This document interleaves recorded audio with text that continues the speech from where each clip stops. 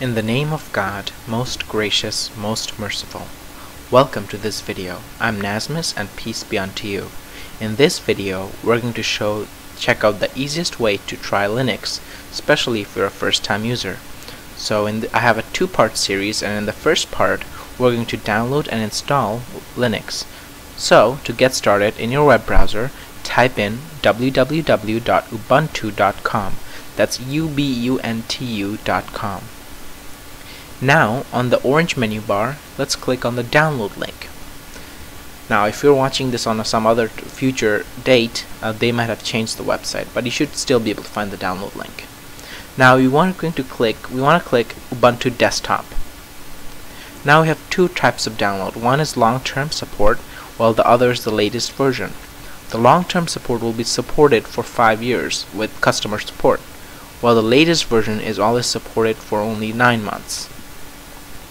So let's click long, you could choose whichever one you want. Now I recommend downloading the 32-bit and so do they, because it requires less resources and it is more compatible. I'm downloading the 64-bit, but I recommend you do the 32-bit. Here you could choose to donate to the developers.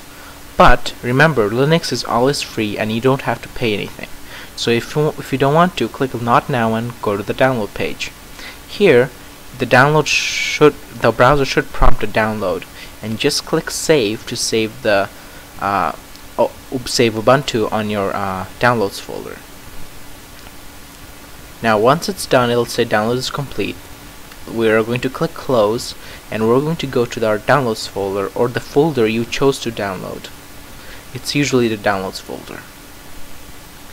Here you could see Ubuntu 12.10.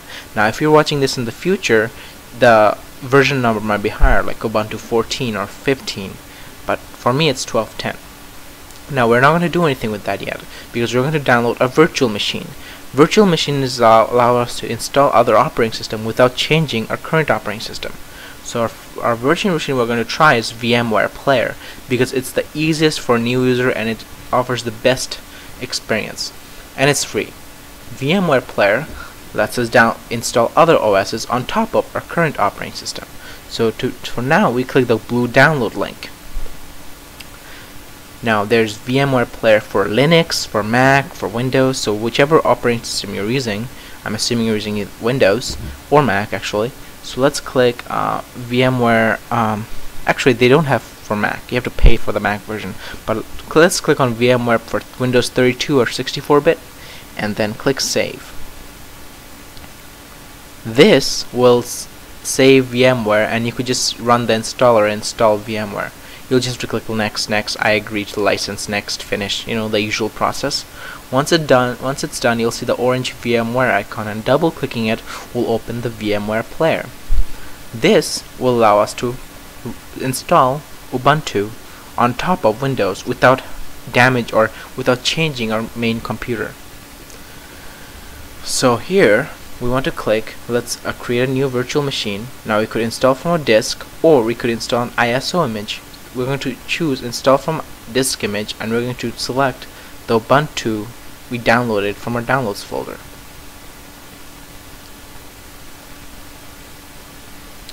It says Ubuntu 64-bit detected the operating system will use easy install. What this means is that it will automatically do the installing for you, so you don't have to do any manual work. If we're an advanced user, you could you could change the setting and install it manually, but since we're first timer, we could just use easy install. So here it's asking us for full name, password, username. These things usually set up during the install.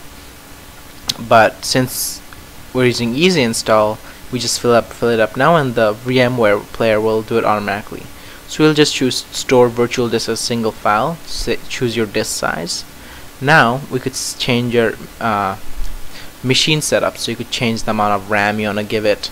You could turn on 3D acceleration. My I'm giving it 1 gigabyte. And you could set those up and you could click finish. Now usually when you install Ubuntu it'll, it'll ask you to you know fill up all this information keyboard options language uh, date and time. But because we're using e easy install in VMware um, uh, it'll do this automatically.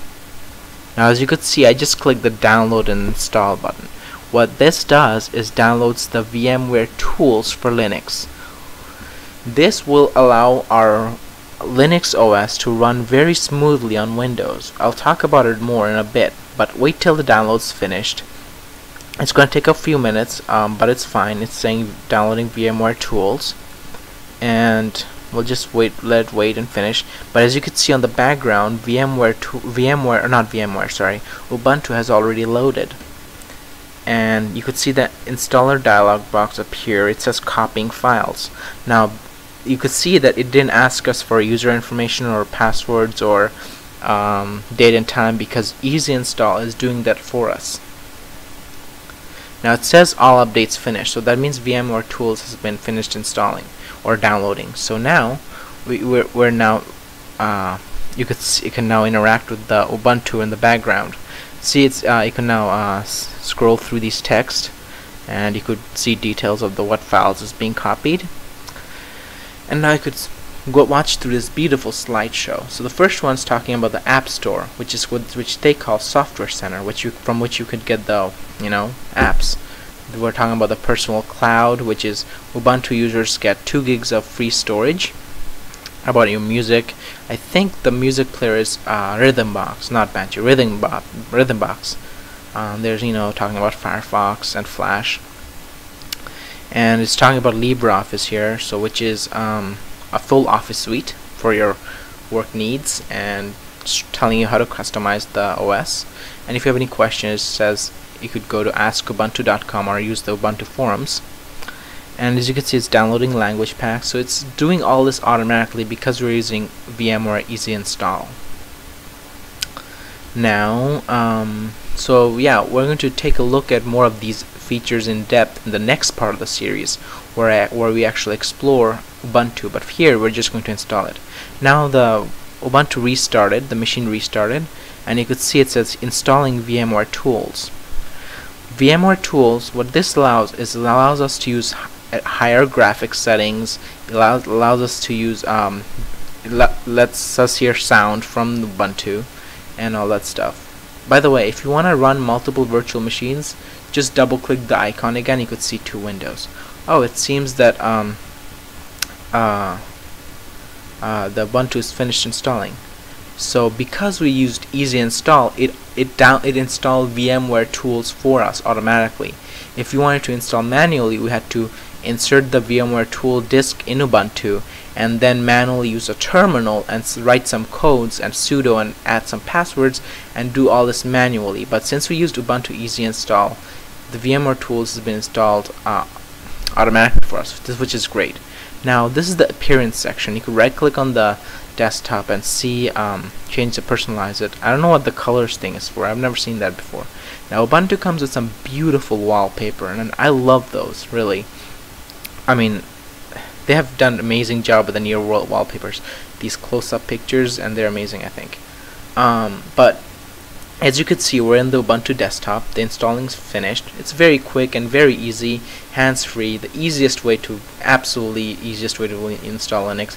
This is our start menu. They call it the dashboard um, of Ubuntu. Now we could search for applications and we could change to folder view and we could click on a folder. It should open the folder in the background. You have your musics video and movies. Uh, it also recommends Amazon videos uh, if you want to buy them you could turn those off in the settings menu. We're not going to go over it right now. But here's your apps. Usually in the past it showed all of your apps. At least you had the option to see all of your apps. Apparently now it doesn't. You could search for them but it seemed to show only few apps. Um, but uh, okay so guys thanks for watching. And in the next video we're going to explore Ubuntu even more and we're going to check out how to uh, you know check out how to install apps from the App Store and we're going to um, you know look at uh, some built-in apps and how do we you know try out some games or Steam at least and look at some audio and browse the web. So I hope you enjoyed the or found the first video uh, informative. Uh, this uh, is a very easy way to try Linux out uh, for the for first time users um, VMware Player is a great tool free and makes the VMware Easy Install makes it really easy to just automatically install Linux for you.